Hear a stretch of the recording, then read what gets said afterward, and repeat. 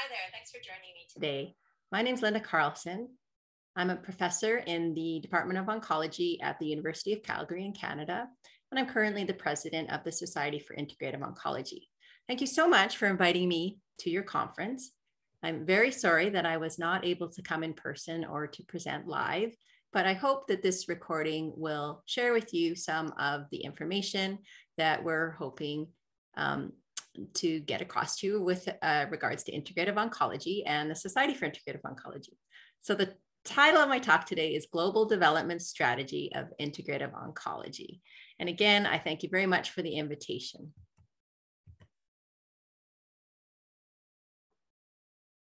There we go. Um, so I'm representing the Society for Integrative Oncology, and our mission is to advance evidence-based, comprehensive, integrative healthcare to improve the lives of people affected by cancer worldwide. So let's take a step back and begin by defining integrative oncology. So this is an official definition um, from SIO that we came to by consulting experts from around the world. And so integrative oncology is a patient-centered, evidence-informed field of cancer care that utilizes mind and body practices, natural products, and lifestyle modifications alongside conventional cancer treatments.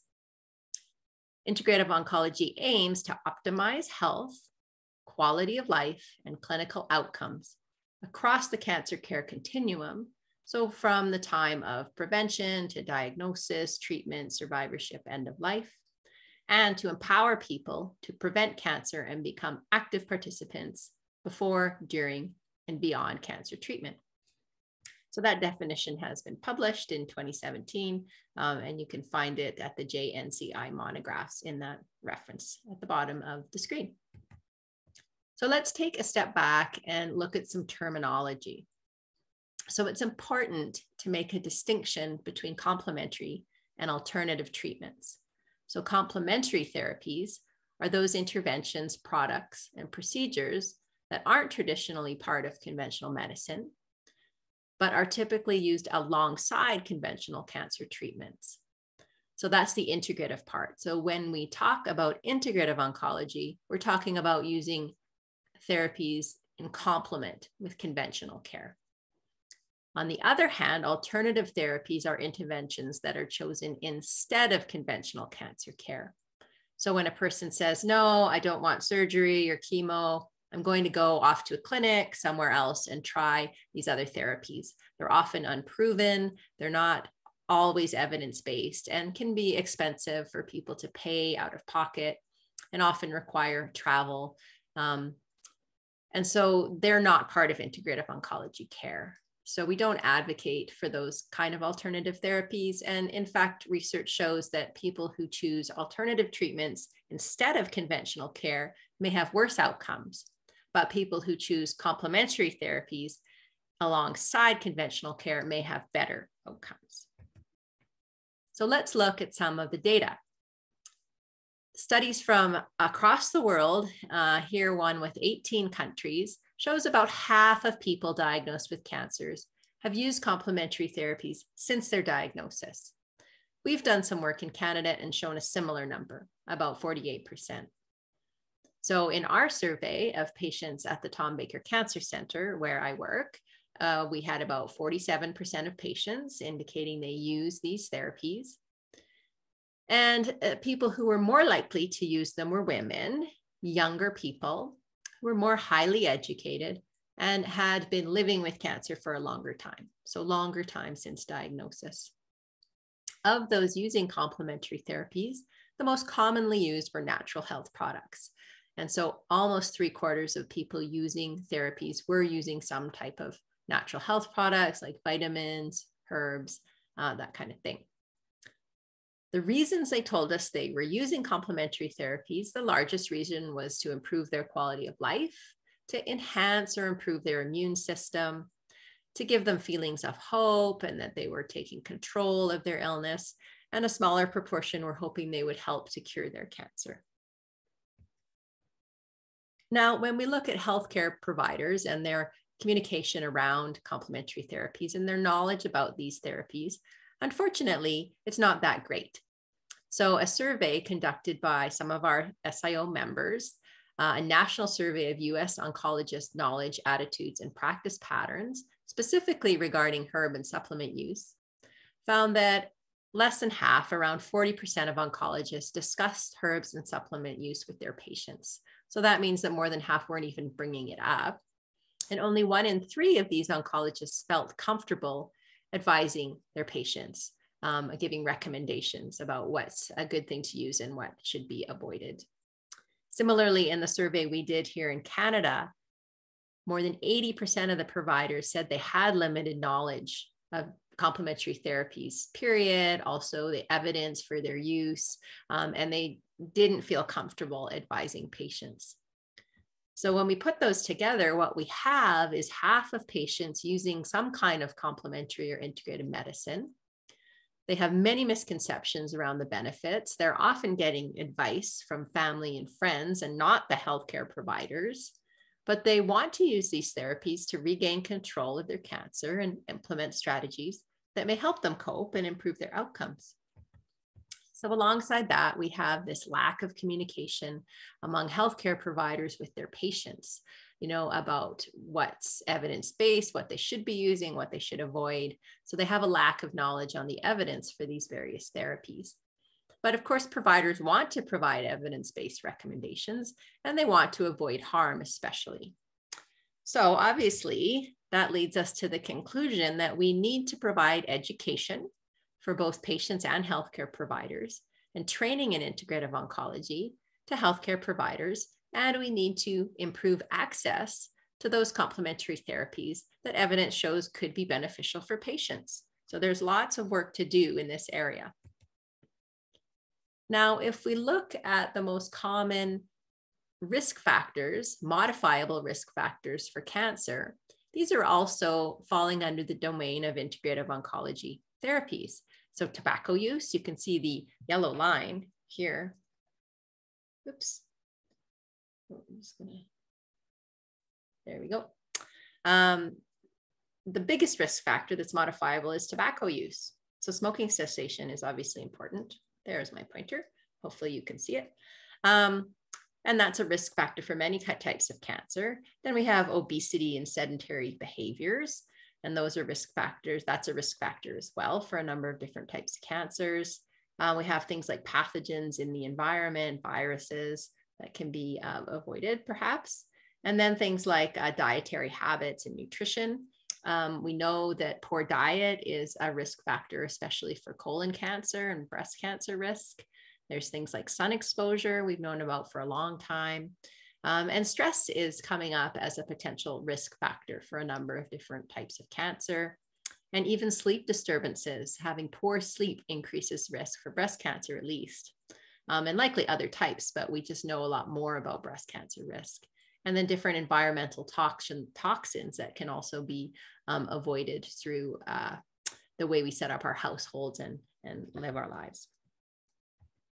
So if we look at the area of integrative oncology, lifestyle modifications that target some of those behaviors are a big part of the interventions that are included there. Um, the other areas that are included in integrative oncology are mind and body practices. So those are things like meditation and yoga, and also the use of natural products. So a lot of the herbal supplements you would see within traditional Chinese medicine would fall under that as well. Now that's combined, or I guess the use of the different interventions is guided by patients' values and preferences and their rights to have autonomy around the types of treatment they want combined with our knowledge from the research evidence around what types of therapies are helpful, uh, what therapies do we not have enough research about to make decisions, which ones are potentially harmful, and also combined with clinical experience. So clinicians have many decades of experience trying different therapies with patients and seeing what seems to be beneficial. So we combine all these things together to choose an individualized integrative oncology program for patients as they're going through cancer care. So specifically within those categories of complementary therapies, I mentioned lifestyle modifications. So here, mostly we're talking about exercise and physical activity overall. Uh, diet, nutrition. So that's a huge part of improving lifestyle, getting good sleep, good sleep hygiene, good sleep habits, and managing stress. So these are what we would call foundations of wellness. And there's many different stress management techniques, including mind body therapies, but also other approaches like cognitive behavior therapy um, and, and many different things people can do to help manage stress.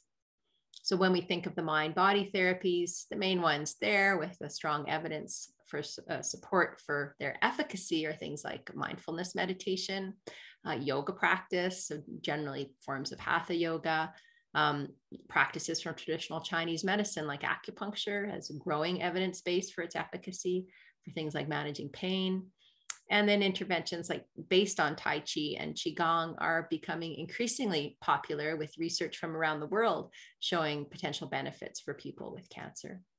Then we have the natural health products. So here are many different vitamins, antioxidants, minerals, uh, botanicals, herbal supplements, um, even specific diets uh, people have a lot of interest in.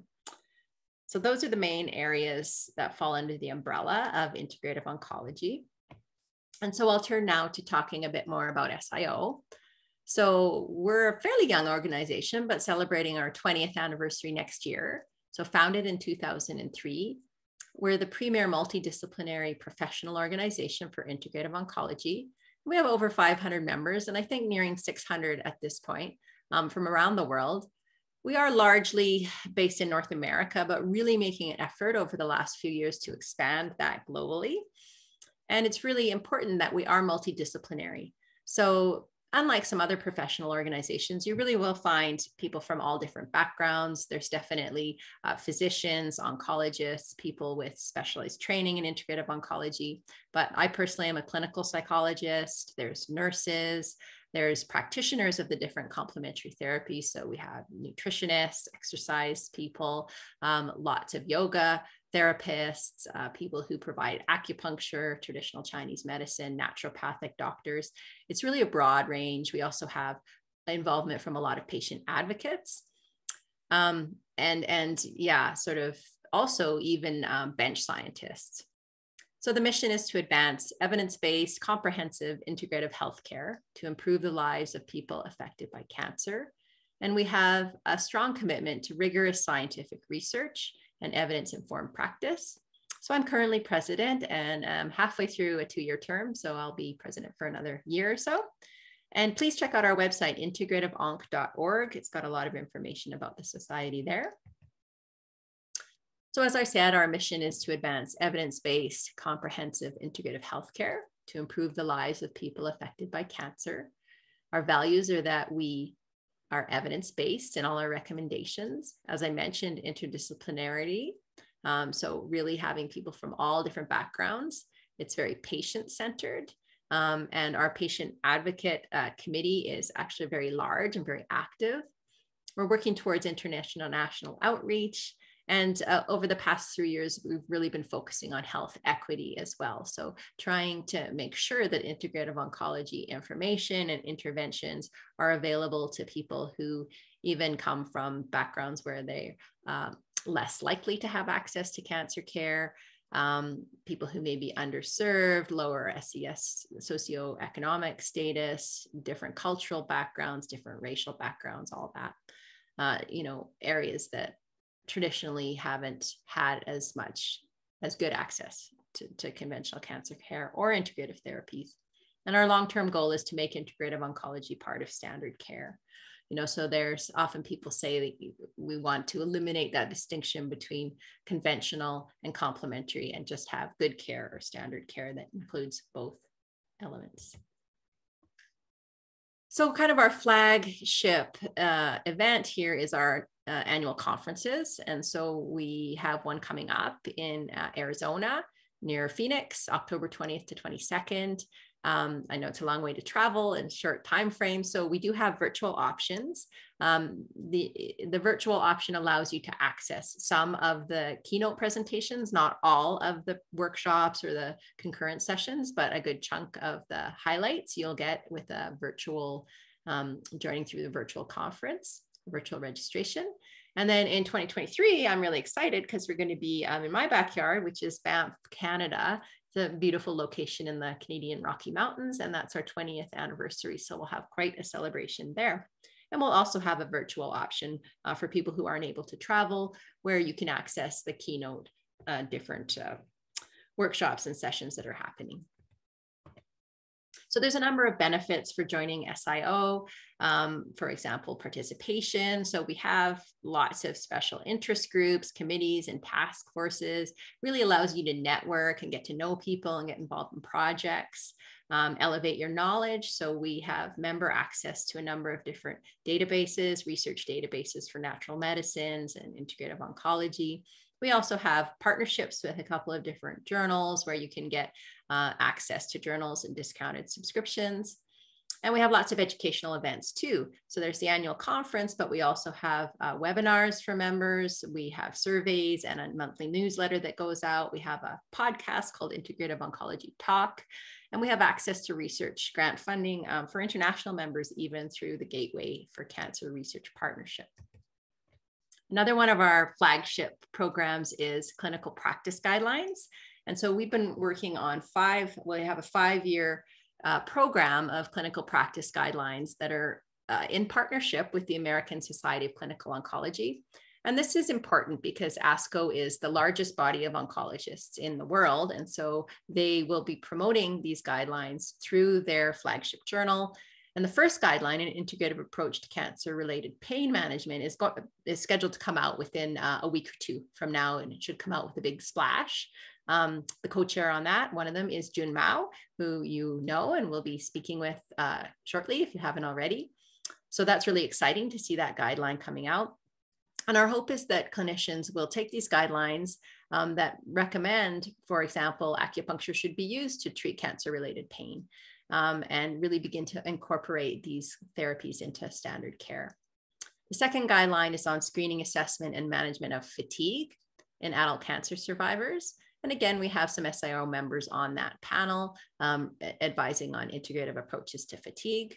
The third guideline is integrative oncology care of anxiety and depression symptoms. And so I'm co chair of that along with uh, Julia Rowland, who is the former chair of cancer survivorship, the Office of Cancer Survivorship through the National Institutes of Health in the US. So we're excited that one's well on its way and should be out within the year. And then we've got uh, guidelines four and five that we haven't started working on yet. So that'll be uh, exciting to move those along soon too. So in terms of how we're organized, um, in our organizational structure at the top, we have a board of trustees. That's about 25 members um, who have been involved in different committees and task force and become elected to the board. Within the board, we have the executive committee. Uh, so that's a smaller group of people uh, who meet on a more regular basis. And I'll tell you who we are in a moment. And then below that, we have all the different committees, task forces, and special interest groups that uh, move forward a lot of the, the specific projects that we work on. So here's our executive committee. So as I said, I'm the president. Santosh Rao is our president-elect. He'll be taking over um, after the 2023 conference. Joni McLeod is a patient advocate and our wonderful secretary who helps us get things done. Ting Bao is our immediate past president from Memorial Sloan Kettering. Uh, she works with Jun Mao, who is one of our past presidents from a few years back. Ana Maria Lopez is our treasurer from uh, Sidney Kimmel Cancer Center.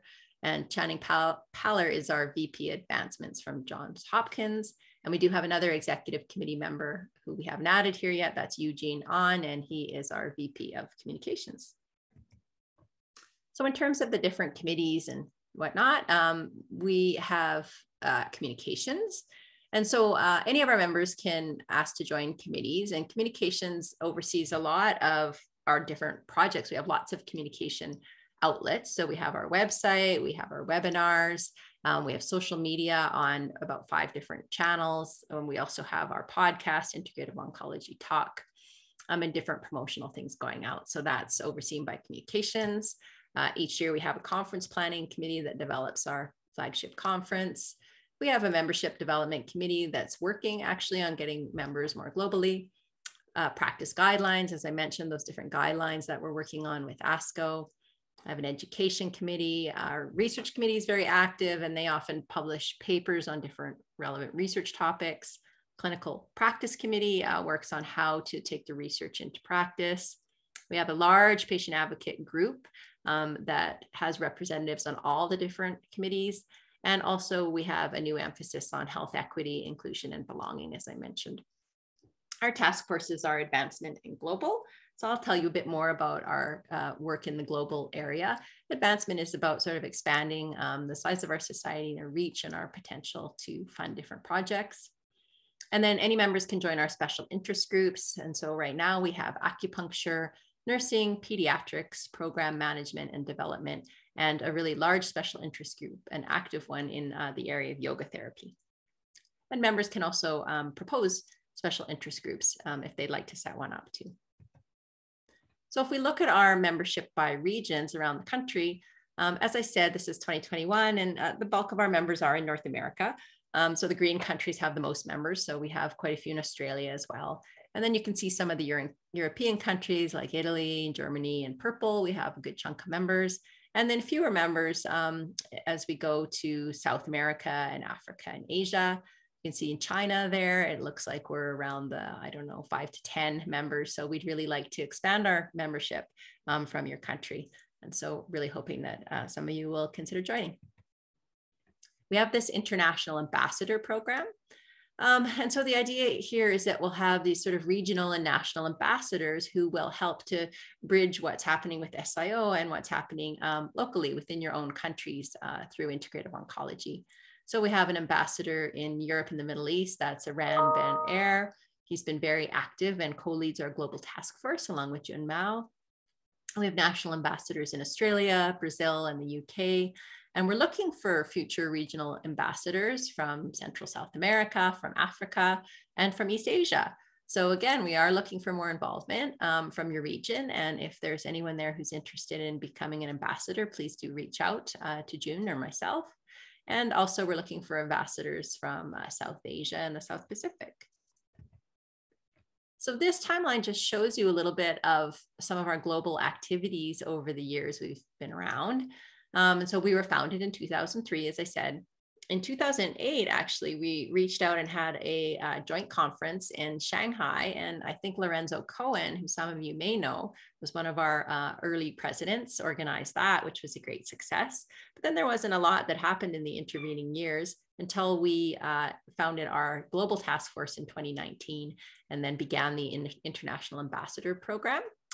Um, in 2020, when the pandemic hit, we quickly converted our conference to a virtual platform and we were able to give uh, give out 40 international scholarships for people to join our conference virtually. Um, and so this is sort of the breakdown of where those went. Um, you know so a big chunk of it was uh, white people but also we had quite a few african um, and people from Africa and Black people, as well as some Spanish speaking people. Here's an Asian group here um, and also Middle Eastern and American Indian, a few people. So really trying to expand our reach and our diversity. In 2021, um, we had a great international program track at our conference, and we also have that for 2022. So all the events, the sort of large, um, there's a, like a global workshop and a discussion group around education and integrative oncology globally. Those are all available virtually. If you register for the virtual conference, um, you'll have access to those things. So as I said, we're looking forward to expanding our reach globally um, over the next few years. So just to summarize what I've covered, um, we know that integrative oncology is a growing field that's increasingly ingrained in oncology care worldwide, and we're aiming to make it standard of care. We aim to promote integrative oncology worldwide, expand more globally with our regional ambassador program. And as I said, we invite everyone to join and attend our conferences.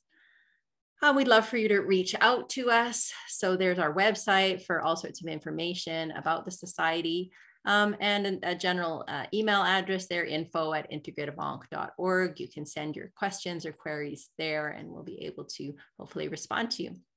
So thank you once again for inviting me. I hope you found this information useful and interesting. Um, and I apologize I'm not able to be there live, but I'm sure you'll have a wonderful conference and I look forward to engaging with you all in the future. Thanks very much.